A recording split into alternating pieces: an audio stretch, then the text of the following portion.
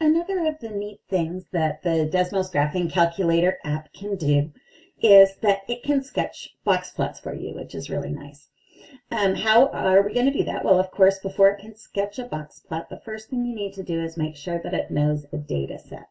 Um, I'm going to just use the data set that I used in the last video of women CEOs in Fortune 500 companies um, over the past 10 years. And uh, I'm going to call my data set set A. Uh, when you're defining your data sets, make sure that you use a label, equals, and then make sure that your data list is in square brackets and separated by commas. Once I have all of this, the next thing that I'd like to do is to be able to draw a box plot of that. Now I can figure out the five number summary and draw it by hand by choosing the functions button, scrolling down and choosing the stats option of set A, which is nice. But I can, and, and then draw it by hand from this because it's not too hard. But it's nice to have a good computer generated graph sometimes. So, believe it or not, Desmos will do this for us. And we can find that information once again under the functions button. This time you want to scroll past the statistics and come all the way down here to where it says visualizations. What we want to do here is to create a box plot. So we'll click on the box plot button and then notice it's asking us to enter the data set and we again are using data set A. The next thing that it includes here, well, let's just look at what we get right here and we'll talk a little bit about what it what it all means here. So let's just hit enter right now. And guess what? Absolutely nothing happened. Um, why not? Well, if you look at our data set, we're looking at numbers between 21 and 52, but our window over here is just set between 0 and 10. You can change the window size up here by clicking on the little wrench and changing your X and Y axis, but the easiest way to get it nice, clean box plot is going to be to click on this little uh, zoom fit button, the one that looks like a magnifying glass with a plus, and there's my box plot. What that basically does is it centers the box plot on your screen, uh, so you can see that this way. Now, right now, uh, notice that it says an offset of 1 and a height of 1, and we can change those if we want. If we change the offset to be something like 3, notice that my graph jumps up higher. Because really all I care about is my number line down here in terms of my labeling. That's why 1 is a great default here. If I change the height, uh, let's say I want to make my height 3. Notice that what that does is it just makes those uh, values taller. So it gives you some opportunities to um, play around with your graph to make it look the way that you would want to. I'm just going to go ahead and stick with my height 1 and offset 1 here.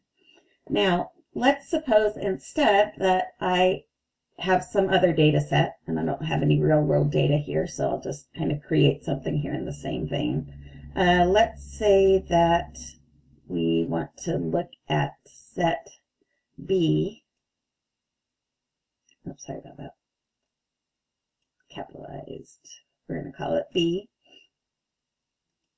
Oh, I'm doing all sorts of extra things here. Uh, B equals, and then we're going to set our data set here, and let's just put some numbers here in like 25, 29, 30, 51, 62. Oops, that's a really big number. And 55. I just got six elements here, that's fine, but I can ask it to graph box plot B for me. Uh, same idea, you can actually type the term box plot B here if you're working on your um, calculator. Notice it was in italics until you had the function there then I'm going to want to display offset B. Now over here I've got the two box plots in two different colors. It's very confusing because they're right on top of each other. This is where in creating box stacked box plots is where this offset becomes really nice. I can move my B to be too high. That's still kind of close together. Maybe I want to make it um, three high here. Or 2.5, whatever that you want to play around with so you can see that nicely. Now I have the two box plots right here above each other. I'm able to compare like minimum values. Here it was 21, here it was 25. I have a much higher value here in the green data set than I do with the red data set. Here my the median middle of that the, that line in the box plot is uh, about the same as Q3 here in the second, in the first data set. So uh, that gives us a way that we can create those different uh, graph functions using Desmos.com. Now, when you go to turn your homework in, you'd like to be able to share this graph.